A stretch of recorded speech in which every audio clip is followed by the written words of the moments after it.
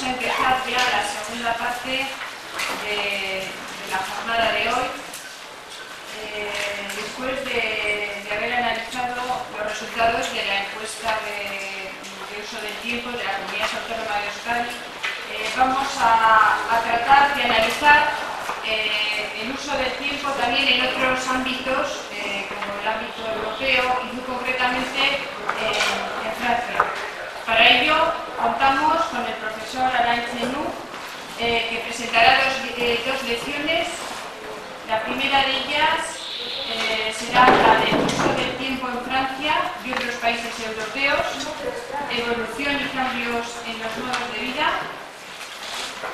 Alain Chenou es profesor de Sociología de la Universidad de Versalles, ha trabajado en el Laboratorio de Sociología Cuantitativa de Licen es miembro, es miembro asociado del Observatorio de Sociología del Cambio, miembro del Comité de Relación de la Revista de Sociología Francesa, secretario general del Comité de Concertación para los Datos de las Ciencias Humanas y Sociales, miembro del Consejo Nacional de la Información Estadística y presidente de la Comisión de Evaluación del Instituto Nacional de Estudios Demográficos los principales temas en, los que ha centrado su investigación han estado relacionados con el trabajo, ocio y desigualdades sociales en la sociedad de la información, las formas elementales de la celebridad, 50 años de cobertura del Paris Match y la historia y sociología de la sociología francesa. También es buen autor de numerosas obras, director de diversos números de revistas, etc. Dejo la palabra a Alain Chenou para, para realizar su, su lección. Précision, je ne suis plus professeur euh, à l'Université de Versailles, mais maintenant je suis professeur de sociologie à, euh, Sciences Po, euh, l'Institut d'études politiques de Paris. Vous entendez Ça va je je vais donc vous présenter euh, un certain nombre de euh, concernant euh, les emplois du temps en France et les changements qui sont intervenus au long d'une période éventuellement assez longue, parce que ça fait maintenant plus de, 50 ans qu'on fait des enquêtes de ce type en France. Dans la première partie, je donnerai des éléments de base sur les principales modifications euh, qui sont intervenues euh, dans les emplois du temps, euh, dans la division du travail entre les hommes et les femmes, c'est un domaine dans lequel il y a eu beaucoup de changements très, très importants, et aussi dans, je ferai une description d'ensemble de la totalité des activités en essayant de caractériser les principaux changements dans le domaine du, loisir, dans le domaine des sorties, des activités personnelles, dans la deuxième euh, partie, j'approfondirai l'analyse des euh, transformations euh, familiales de l'organisation du, travail, j'essaierai de mesurer les changements dans les rôles masculins et, féminins en fonction notamment du, nombre d'enfants et en fonction aussi du type d'emploi occupé. Et enfin, j'essaierai de caractériser les changements euh, dans le travail, dans les activités professionnelles et la façon dont ces changements euh, s'expriment dans le domaine de l'utilisation du temps. Et une des observations principales, c'est que le travail n'a pas la même signification euh, pour tout le monde. Et les, changements importants sont intervenus dans les sociétés modernes. L'organisation de type industrielle, avec des, cadences imposées, continue d'être euh, significativement représentée, mais elle est quand même moins importante qu'auparavant. On a des formes de travail impliquant davantage euh, l'autocontrôle des travailleurs sur leur propre activité. Et le, vécu du travail a changé, les gens se, sentent plus souvent stressés, plus souvent mentalement contraints, ayant une charge euh, mentale importante liée au travail, alors même que leurs horaires de travail dans l'ensemble euh, ont diminué. Et j'essaierai donc de caractériser ces changements dans la signification du travail et plus relativement dans l'organisation temporelle des activités sachant qu'un des résultats, pour annoncer certains des résultats, un des résultats, c'est que à durée du travail identique, euh, si on doit soi-même organiser son temps de travail, on est au total plus fatigué, on se sent plus, euh, à l'organisation de son, travail, si on est soi-même responsable euh, de l'organisation du travail. Alors avant d'aborder les euh, résultats des enquêtes françaises et ensuite l'analyse euh, des, tendances avec des indications sur les, comparaisons qu'on peut faire entre la situation en France et celle dans d'autres pays, notamment en Europe et aux États-Unis. Avant d'aborder donc ces résultats et ces, euh, analyses des, tendances, je vais très brièvement donner quelques indications sur la, méthode des enquêtes sur les emplois du temps sachant que certains éléments ont déjà été fournis euh, à cet égard euh, avec l'intervention précédente. Les enquêtes sur les emplois du temps euh, sont centrées sur un dispositif, un questionnaire spécifique qui s'appelle un carnet d'activité, un carnet quotidien d'activité. Et je vous, j'espère que ça sera à peu près lisible. Voici ce que c'est que ce type de carnet. Est-ce que vous voyez au fond à peu près pas terrible peut-être? Euh, donc ici, vous voyez que le temps est divisé, chaque ligne fait ici 10 minutes. On a par exemple ici de 7 h du matin à 9 h euh, du matin, donc 2 heures sont décrites 10 minutes par 10 minutes. Et on a plusieurs colonnes.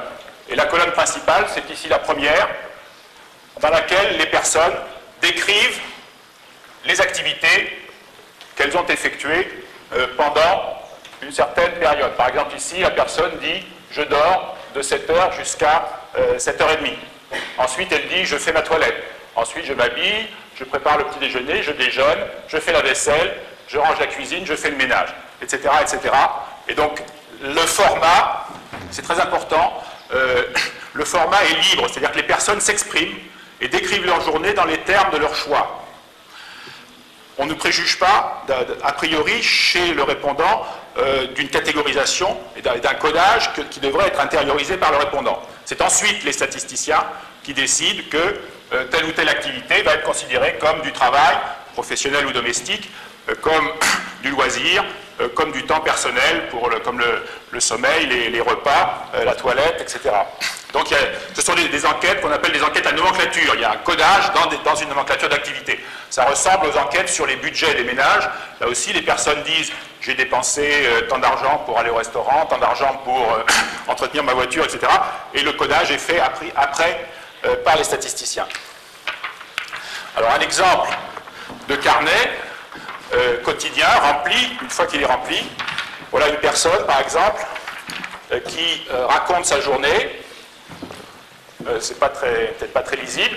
Le, le matin, donc jusqu'à 7 heures, elle dit je dors. Ensuite, de 7h à 7h30, elle dit Je dors seul, c'est-à-dire qu'on suppose que le, conjoint est parti. Euh, ensuite, je, lève, je m'habille, je me lève, je m'habille, je fais ma toilette, je prends mon petit déjeuner, je fais la vaisselle, je range la maison, euh, trajet aller, c'est-à-dire qu'elle va au travail, je travaille, je vais ensuite chez ma mère, je mange chez ma mère, trajet de nouveau aller, c'est encore un autre trajet, je travaille, trajet retour, je ramasse le linge, je regarde la télé, je prépare à manger, je mange, je fais aller-retour chercher ma fille, je prépare à me coucher, il est 20h40, euh, je me couche, je dors. Donc voilà, en 22, euh, 22 lignes, la personne a décrit 24 euh, heures de sa vie. Et c'est à partir de ce matériau que l'on va produire les statistiques dont je vais vous parler maintenant. Donc un dispositif qui existe depuis en gros les années 1920. Les premières enquêtes ont eu lieu en Russie avec un statisticien qui s'appelait Stromilin notamment. Euh, les, enquêtes modernes, disons, existent surtout depuis les années 1960. Il y a eu plusieurs programmes internationaux qui ont été euh, montés euh, dans les années 60 avec une, douzaine de pays dans le monde. Et puis plus récemment, Eurostat a coordonné un programme européen d'enquête sur les emplois du temps qui commence à rendre maintenant des, possibilités de, comparaison euh, internationale euh, fondées sur cette méthodologie commune euh, du carnet d'activité. Alors abordons maintenant les principaux résultats concernant la France et je me, je me centre sur trois enquêtes. Trois enquêtes qui ont eu lieu en 1974 1986 et 1998. Donc ça fait une période de 24 ans, à peu près un quart de siècle. Les méthodologies des enquêtes sont à peu près euh, comparables et donc on peut euh, analyser les changements d'une manière assez précise.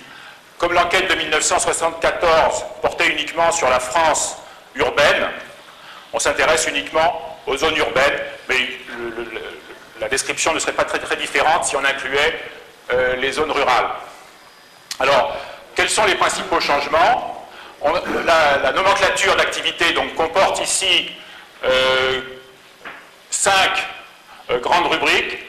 Le travail, le travail qui est subdivisé en travail professionnel auquel on assimile le, travail scolaire, sont inclus aussi là-dedans les trajets domicile-travail, euh, donc travail professionnel et scolaire, travail domestique, temps personnel, que parfois on appelle aussi euh, temps physiologique, mais je préfère l'appellation de temps personnel parce que c'est un temps qui a une dimension euh, sociale et non pas seulement euh, physiologique, puisque ça inclut le sommeil, les repas, la, toilette, les rendez-vous chez le médecin, chez le coiffeur, etc.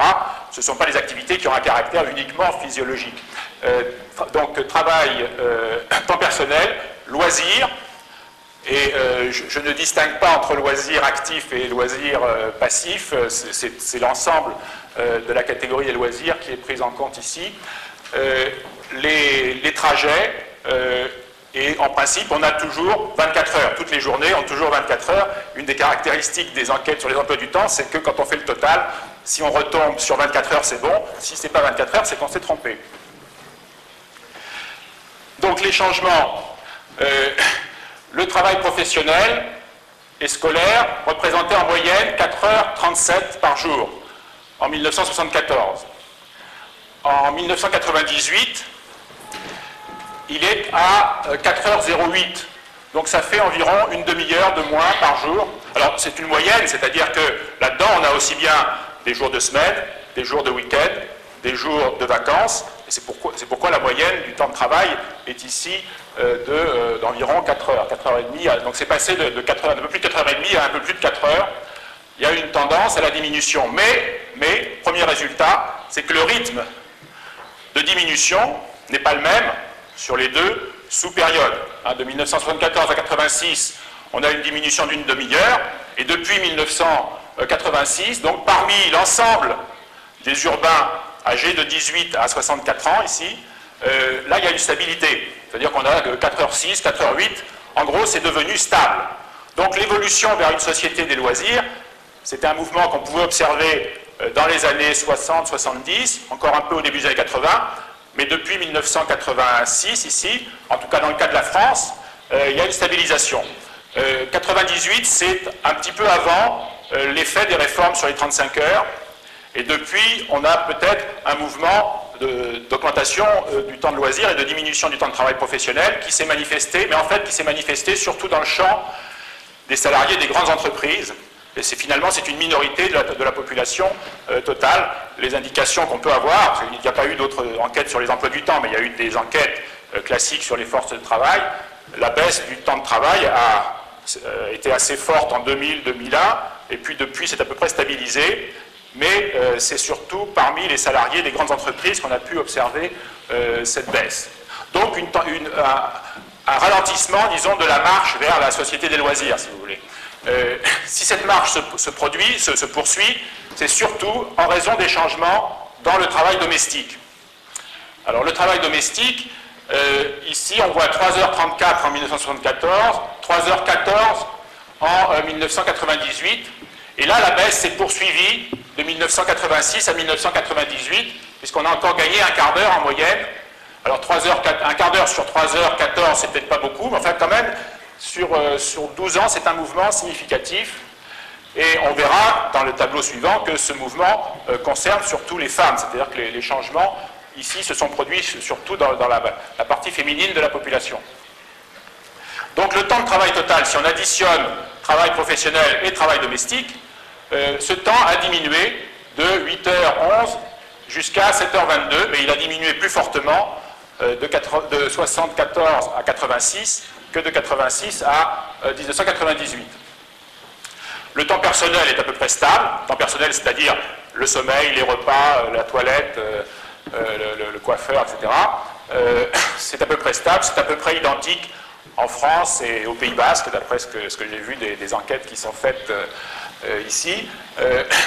le temps de loisir, lui, a augmenté. Et là encore, le, rythme d'augmentation a été plus rapide de 74 à 86 que par la suite. On est passé donc de 3h15 à 4h15 euh, en 25 ans à peu près.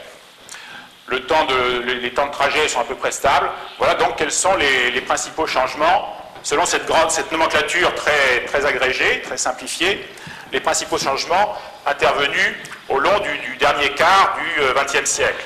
Alors regardons maintenant euh, ce qu'il en est des rôles masculins et féminins. On a ici euh, le même tableau que le précédent, mais cette fois-ci d'un côté pour les hommes et de l'autre côté pour les femmes. Le point euh, clé, euh, on voit qu'il y a une baisse du temps de travail professionnel chez les hommes qui est assez régulière. Chez les femmes, il y a en gros une stabilité, je répète, c'est toujours sur les 18 ans, la population qui a de 18 à 64 ans. Donc c'est plutôt l'âge où on peut être en activité, mais on peut aussi être en études, on peut être au chômage, euh, on peut être à la retraite.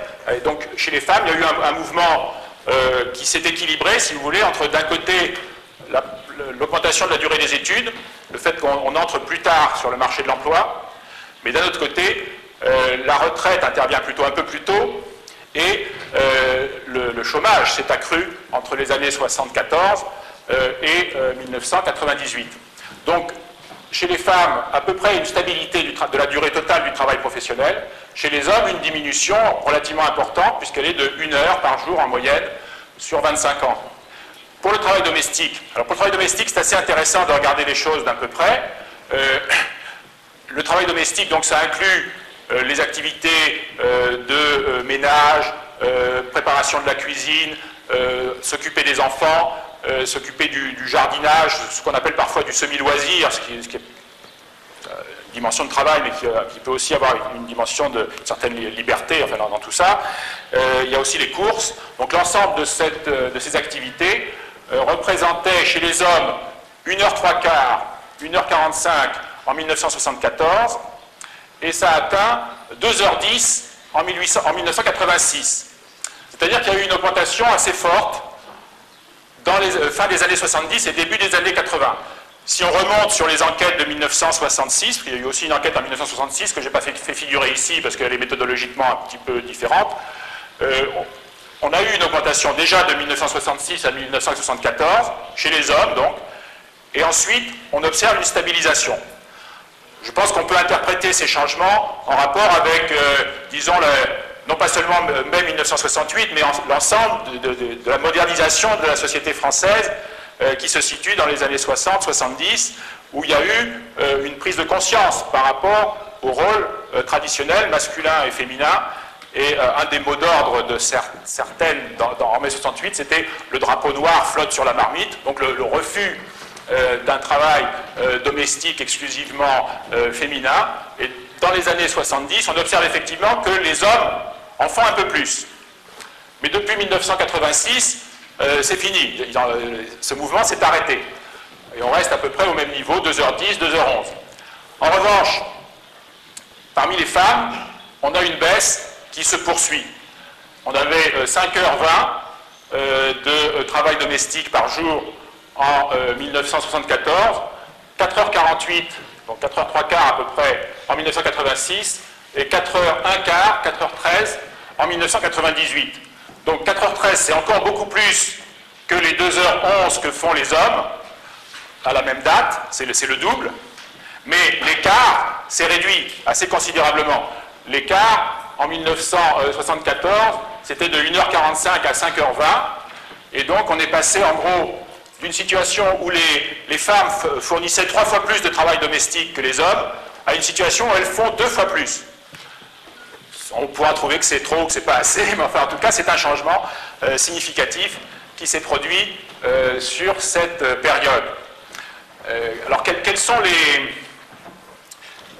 les, causes de cette, transformation du travail,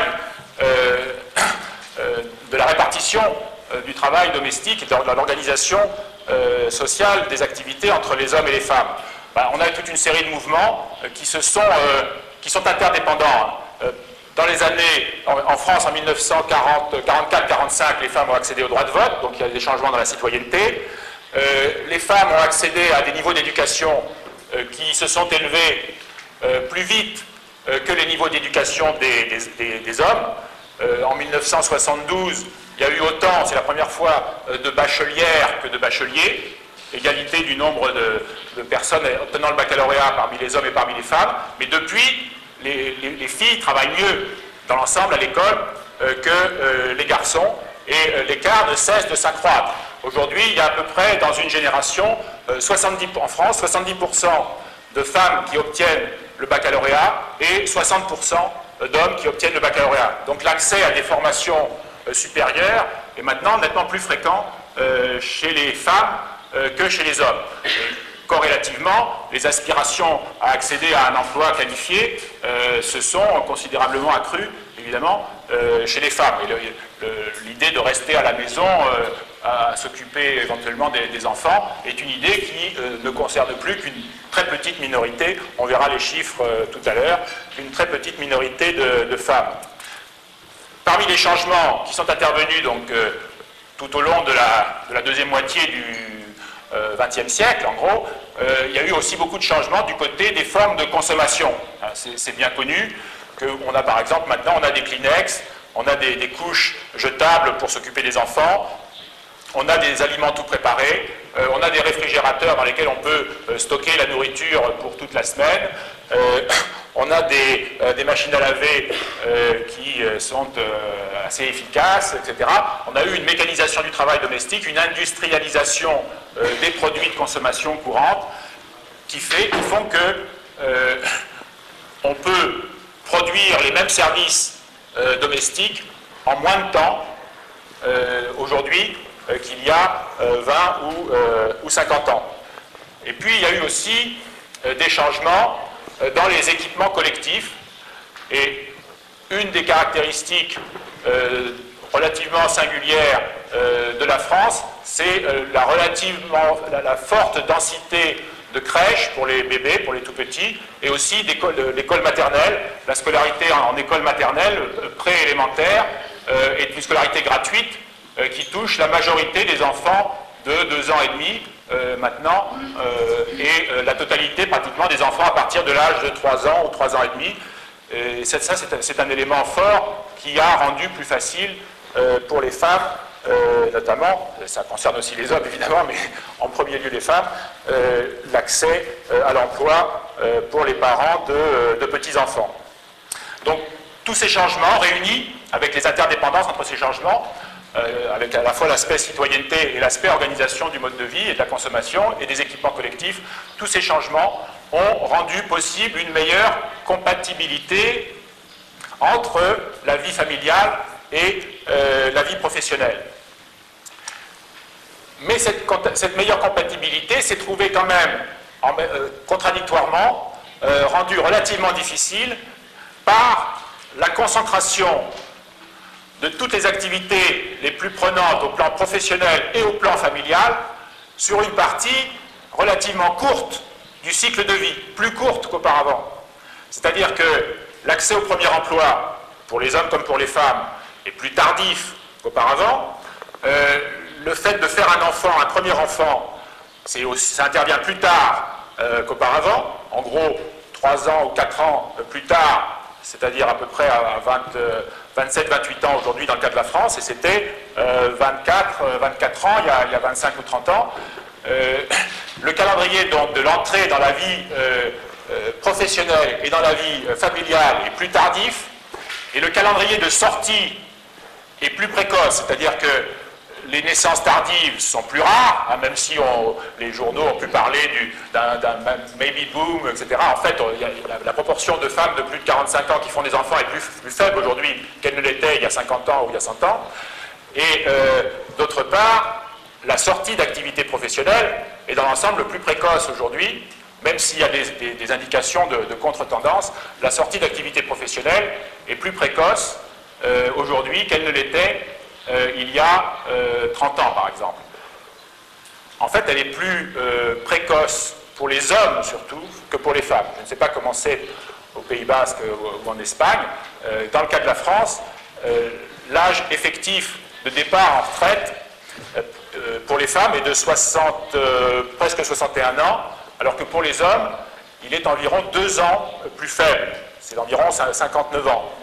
Et pourquoi? Parce que les femmes, euh, si elles veulent partir avec une retraite, sinon complète, du moins euh, le plus complète possible, sont obligées de cotiser euh, pendant des années de travail supplémentaires, parce qu'elles ont eu des carrières incomplètes pendant la période où elles s'occupaient de leurs enfants. Elles étaient souvent soit à temps partiel, soit carrément au foyer, en inactivité. Et donc, l'âge effectif de départ en retraite est plus tardif pour les femmes, aujourd'hui en France, d'environ deux ans, que pour les hommes.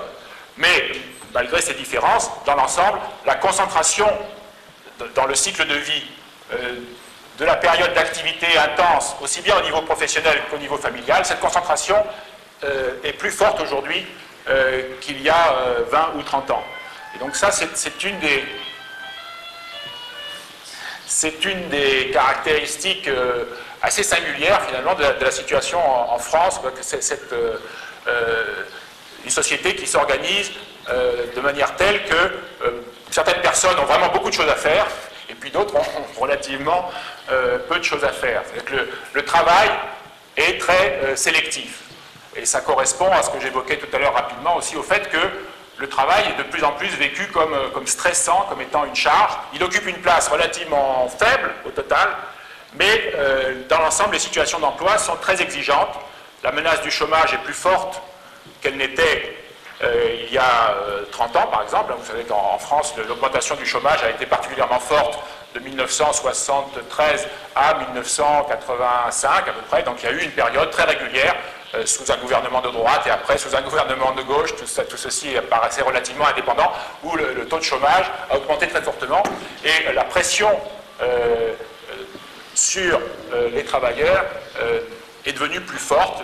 les, gens travaillent dans des conditions où ils vivent l'intensité du travail. On ne sait pas exactement, c'est très difficile de mesurer l'intensité du travail, mais la perception de la situation de travail, clairement, a évolué dans le sens euh, d'une charge plus lourde, plus, difficile à vivre euh, chez euh, les salariés, éventuellement d'ailleurs aussi chez, les employeurs. Enfin, chez les employeurs, ils se sont toujours considérés comme très stressés, etc. Ça a toujours été le cas.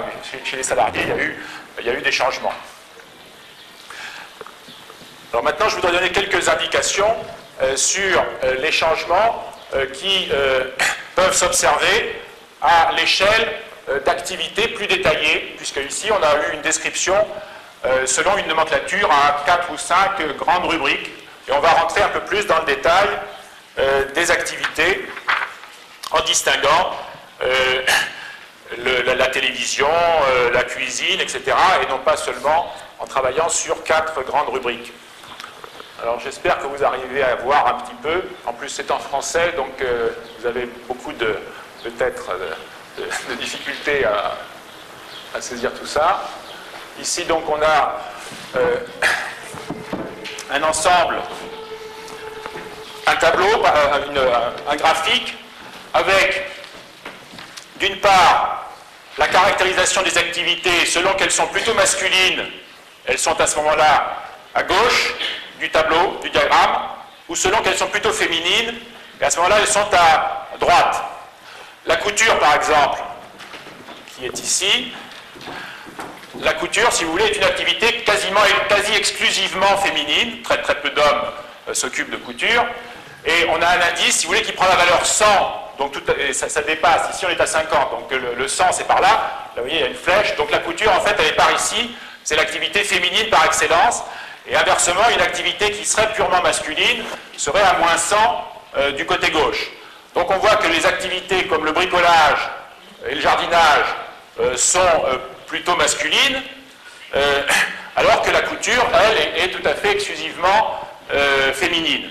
Et selon l'axe vertical, on oppose en bas les activités qui sont les plus en déclin, celles qui sont en, recul dans, le total du, temps dont disposent les gens, et en haut, les activités qui, elles, occupent de plus en plus de, place euh, dans les emplois du temps. Alors la couture, c'est une activité qui est en très fort déclin. En France, en 1974, les femmes, en moyenne, faisaient chaque jour 20 minutes de couture. Et en 1998, elles font chaque jour 5 minutes. Donc c'est une énorme diminution. La couture a presque disparu euh, des emplois du temps. Et les, hommes, c'était zéro et c'est toujours zéro, donc il n'y a pas eu de changement du côté des, hommes. Euh, des activités comme le sport, par exemple, inversement, qui là, c'est une activité plutôt masculine, et c'est une activité qui est en forte croissance. C'est-à-dire que le temps consacré au sport a augmenté tous les ans d'environ 4%. Et sur une, assez longue période, ça fait au total euh, euh, plus qu'un ça fait plus qu'un doublement euh, du, temps consacré au sport. De même, les études aussi, le temps des études s'est accru, donc c'est toujours dans la population des 18 à 64 ans. Hein. donc là, ce sont des études déjà à un âge où on n'est plus dans l'enseignement secondaire, donc ça exprime notamment l'augmentation de la part des étudiants des universités. il y a un certain nombre de loisirs qui se sont accrus. Euh, et on voit aussi que ces loisirs sont des activités masculines, c'est-à-dire qu'ils sont en haut, qui se sont accrus, et en même temps ils sont à gauche, c'est-à-dire que ce sont plutôt les hommes euh, qui euh, pratiquent ces loisirs. Donc les jeux, la musique, la promenade, le fait d'aller à la plage, d'aller à la pêche ou à la chasse, donc c'est par ici, la participation à des organisations, à des associations, les spectacles, la télévision, la télévision, on est déjà plus, proche de l'axe central, c'est-à-dire que c'est un peu plus masculin, mais c'est tout de même aussi assez féminin. Donc je disais tout à l'heure, bricolage, jardin, soins aux animaux, ça c'est une activité qui s'est développée, contrairement à la couture. Mais en France, il y a de plus en plus de, familles qui ont des pavillons, des, maisons individuelles, et ces maisons euh, produisent euh, des tâches euh, telles que l'entretien du jardin, le bricolage de la voiture dans le garage, etc. Tout ceci va de pair avec une organisation de l'habitat qui a changé aussi avec une réduction de la part des personnes vivant en immeubles collectifs. Dans l'ensemble, la maison individuelle, la villa ou le pavillon, c'est un endroit où la division du travail est plus traditionnelle entre les hommes et les femmes, euh, que ce n'est le cas dans l'habitat collectif urbain, en maison, en immeuble euh, collectif. Hein. Euh, donc la tendance vers plus d'habitat pavillonnaire, de, petites maisons dans les, dans les grandes banlieues, cette tendance dans l'ensemble va plutôt à l'encontre de ce qui se dégage de ce qu'on a vu précédemment, c'est-à-dire une certaine symétrisation des rôles masculins et féminins. Le pavillon, c'est un univers où euh, la femme euh, s'occupe des enfants, s'occupe de la cuisine euh, et consacre plus de temps, toutes choses égales par ailleurs, à la cuisine, aux enfants, à des rôles traditionnels, que ce n'est le cas pour les, femmes qui habitent dans des immeubles collectifs. Donc là, on a, une certaine contre-tendance, mais dans l'ensemble, la résultante, c'est quand même qu'il y a une symétrisation des rôles masculins et féminins. Donc ces activités de loisirs en croissance restent des activités plutôt masculines, et inversement, de ce côté-ci, on trouve plutôt des activités euh, domestiques, plutôt masculines, plutôt féminines, pardon, qui elles sont en déclin, qui occupent de moins en moins de place dans les emplois du temps. Euh, donc j'ai cité la couture. On a aussi les soins et l'éducation des enfants, la cuisine, le linge, le ménage. Donc les hommes font un peu plus de, euh, de, cuisine, un peu plus de ménage, pas beaucoup plus, mais surtout les femmes en font beaucoup moins. Et donc on est en dessous de euh, l'axe horizontal qui correspond à une stabilité de la part du temps euh, dans, de 1974 à 1998. Au milieu de ce diagramme, on trouve des, on trouve des activités qui sont socialement peu différenciées, notamment le sommeil. Tout le monde dort à peu près un peu plus de 8 heures par, par jour.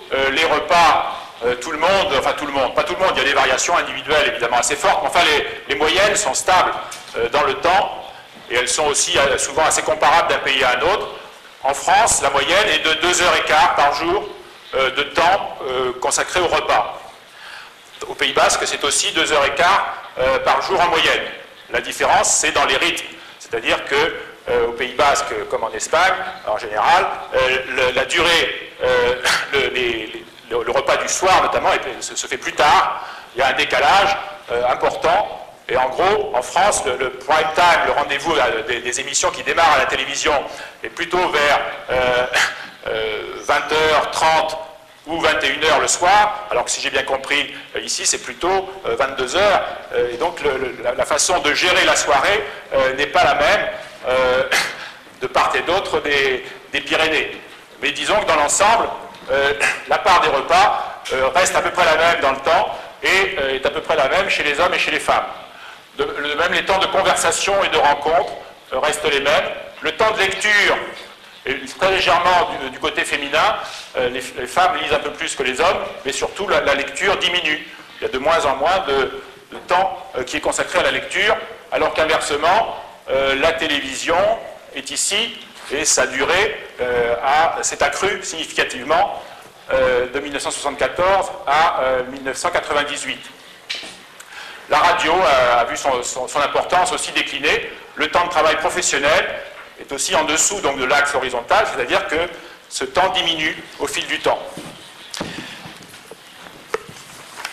Un autre, un autre diagramme, euh, lui, euh, là encore, permet de travailler euh, l'analyse de la différenciation sociale des emplois du temps, cette fois-ci non plus seulement entre les hommes et les femmes, mais en considérant les plus pauvres versus les plus riches, d'une part, et les plus diplômés versus les moins diplômés.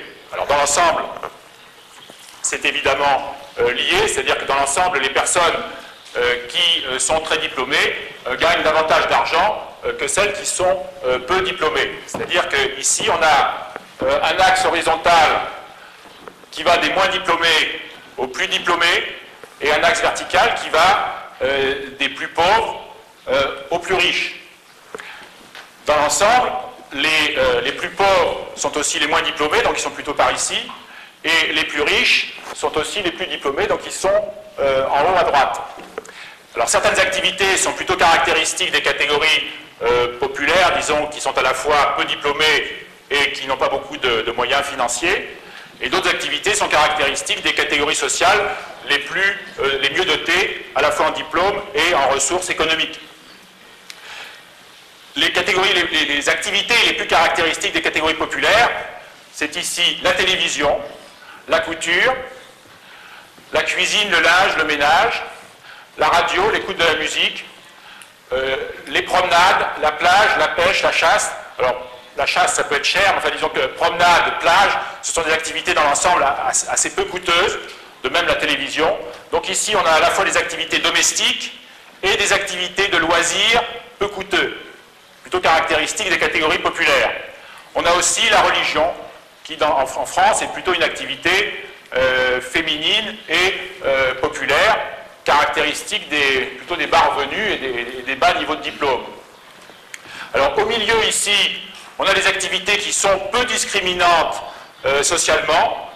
les courses, tout le monde fait des courses, le sommeil, tout le monde dort, les conversations, les repas, les travaux domestiques divers, c'est par exemple tenir les comptes pour faire les déclarations d'impôts, des choses comme ça, euh, les trajets de loisirs ou les trajets domestiques.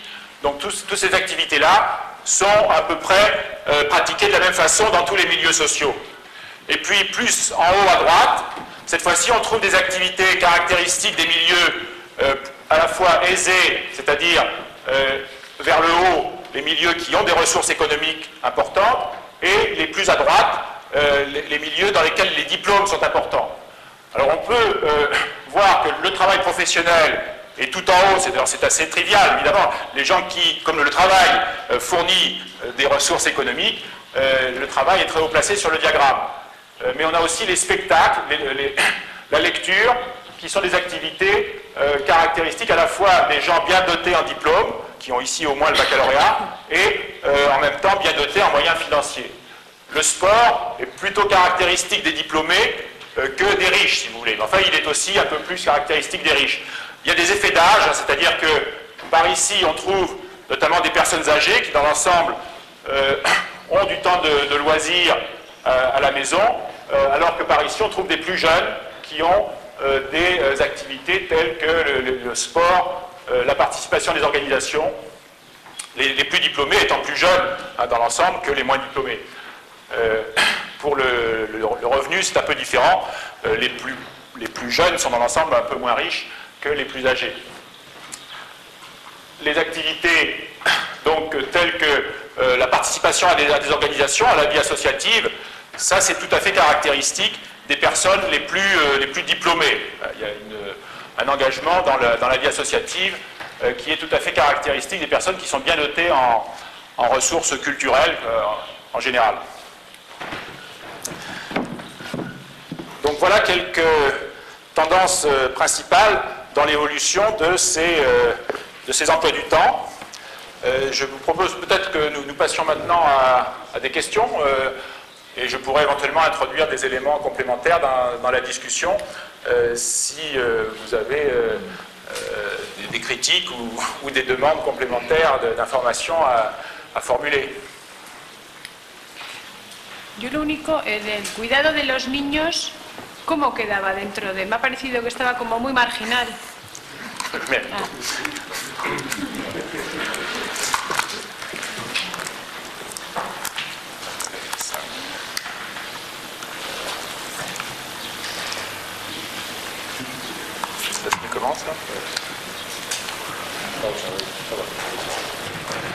Voilà.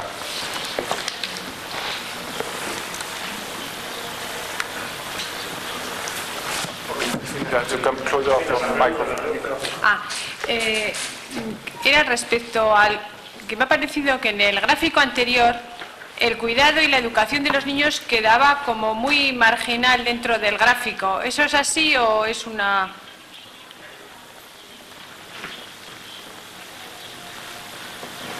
Euh, l'autre. Quelle, quelle, activité? Soit, éducation des enfants.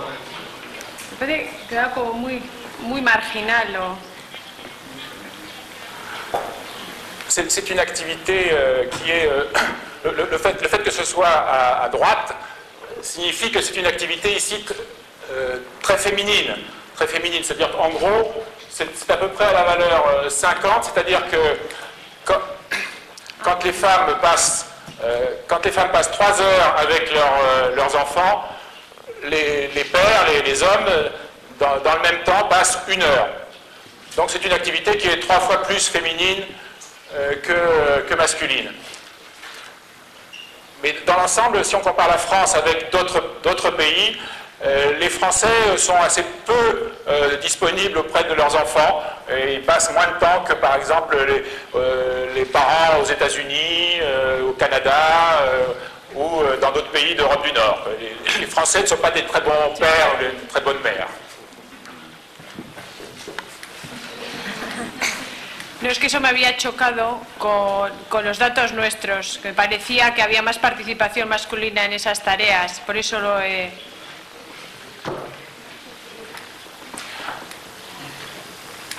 Euh, je, pense que euh, la situation euh, en, Espagne, au Pays Basque, est, certainement pire, pire qu'en France, mais en France aussi, les, rôles féminins restent assez traditionnalistes, et en particulier dans la façon d'organiser tout l'emploi du temps en fonction des besoins des enfants. Euh, ce sont les femmes qui souvent vont euh, amener les enfants à l'école, aller les rechercher le soir, et du coup se trouvent amenées à prendre les emplois compatibles avec ces contraintes horaires liées, aux enfants.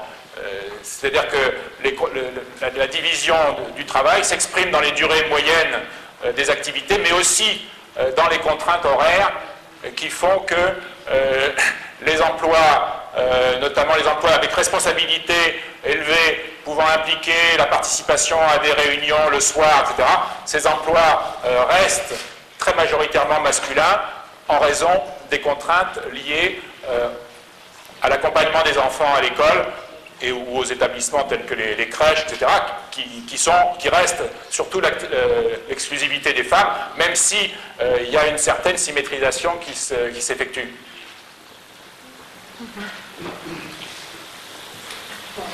Je me demande si les croissances de, travail domestique chez les hommes des années 74 à 80...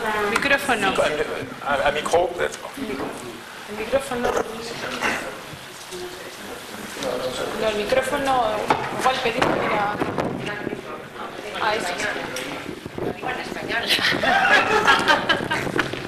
En Je me demande si les croissances de travail chez les hommes, de travail domestique chez les hommes aux années 74 à 86 ont à voir avec les hauts taux de chômage à cette époque. Et une autre question, ça m'a frappé vraiment qu'ici on considère le, le sport comme euh, un signe de développement de la société. Ici au Pays Basque, je ne sais pas, mais je, crois que les femmes et les hommes font à peu près le même euh, sport.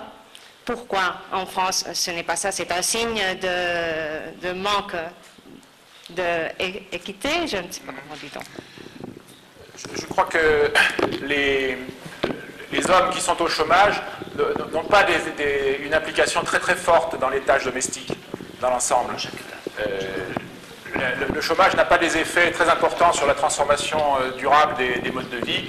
Euh, et en particulier, l'engagement dans le travail domestique n'est pas, il est plus élevé que pour les, chez les hommes qui sont en emploi, mais la différence n'est pas très forte. Et dans l'ensemble, les hommes se sont effectivement davantage occupés euh, euh, des, soins euh, aux enfants et surtout de la, cuisine, du linge et du ménage, il y a eu une augmentation assez significative dans les années 74 à 86 pour toutes les quel que soit le statut d'emploi, que les hommes soient au chômage ou qu'ils soient en emploi, ça a augmenté d'environ 11 minutes par jour pour la cuisine, par exemple le linge et le ménage de, 1974 à 1986, mais depuis ça s'est stabilisé, il n'y a plus eu de changement alors que chez les femmes, ça continuait à baisser. Il y a eu encore, par exemple, euh, ce qu'on appelle les, corvées domestiques, hein, c'est-à-dire la, cuisine, le linge, le ménage, des activités qui reviennent tous les jours, qui sont les plus contraignantes.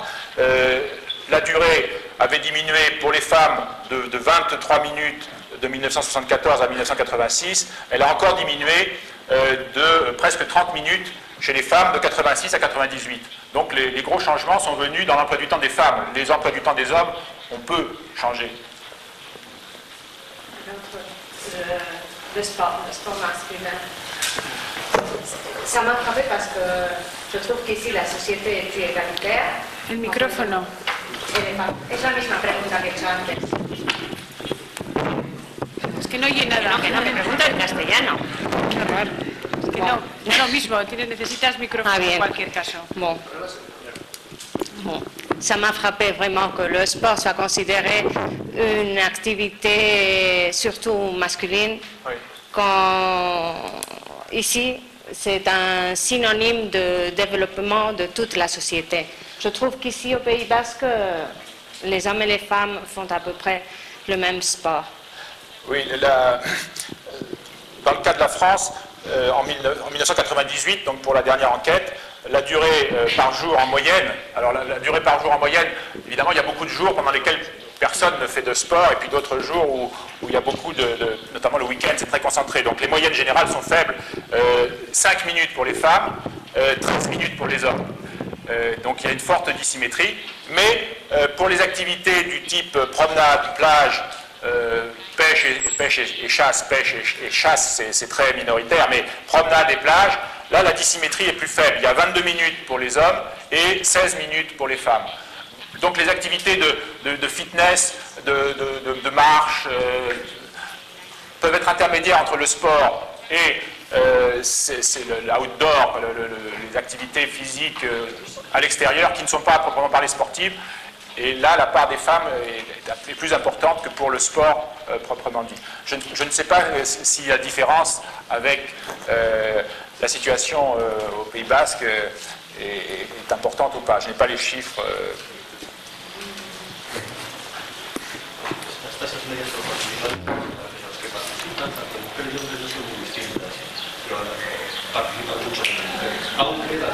Micrófono. micrófono. Que no entiende.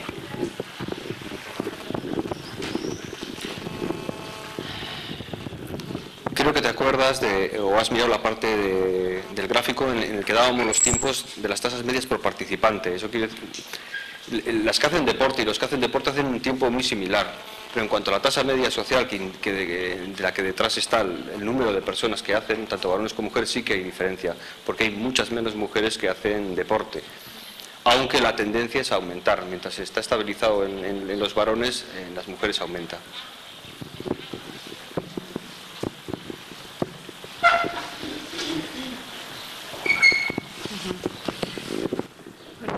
Yo, por último, un dato también que quería comentar, a ver eh, qué razón podría haber en el estancamiento a partir del año 86 del trabajo doméstico que realizan los hombres. Creo que aumentaron simplemente un minuto del 86 al 98. Eh, ¿Hemos tocado fondo en ese tema ya en Francia?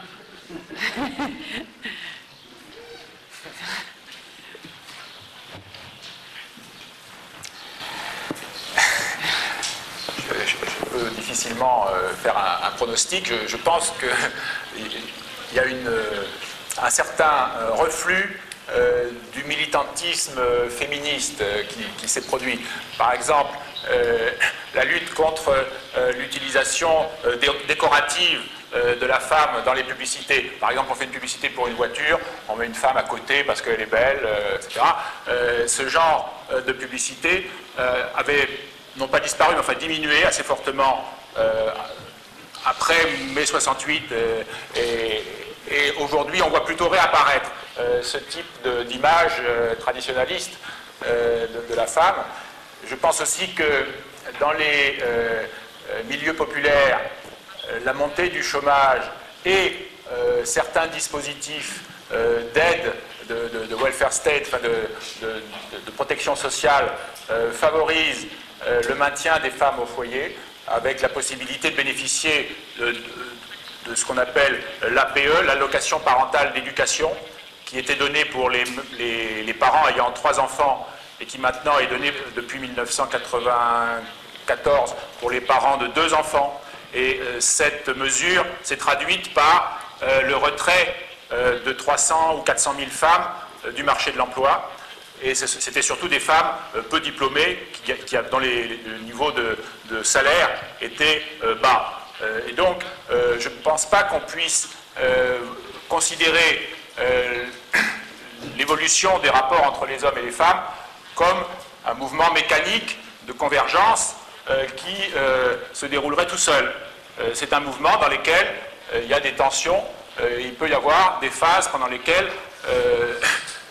il y a une plus grande symétrie, mais il y a aussi des contre-tendances, et je pense qu'en particulier, depuis, euh, disons, une, quinzaine d'années en France, il y a eu un certain nombre de contre-tendances, et euh, on observe, disons, un contraste entre euh, les milieux très qualifiés, dans lesquels les, femmes sont presque toutes en emploi, et où elles font appel à d'autres femmes pour les aider dans leur travail domestique, et euh, les milieux populaires, où aujourd'hui euh, l'engagement dans l'activité professionnelle est plus faible au total qu'il n'était il y a 15 ans ou 20 ans. Donc le, contraste entre euh, les différentes classes sociales est probablement plus important aujourd'hui à cet égard qu'il n'était il, y a une quinzaine ou une vingtaine d'années.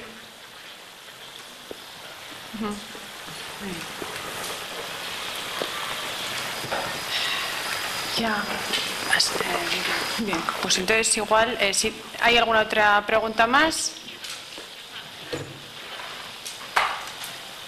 Quizá podríamos hacer un descanso, 15 minutes. Sí, pues que dejaríamos 15 minutos hasta y 25.